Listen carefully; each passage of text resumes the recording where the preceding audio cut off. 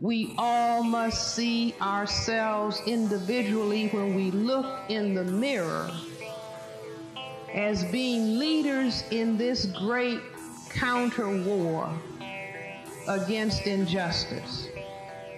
Not leaders who are doing their own thing, but leaders who want to participate that the beings on this planet can be everything that the Creator intended for us to be.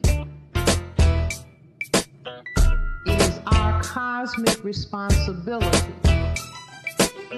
not just to attend lectures, but actually to see that a revolutionary change takes place on the planet.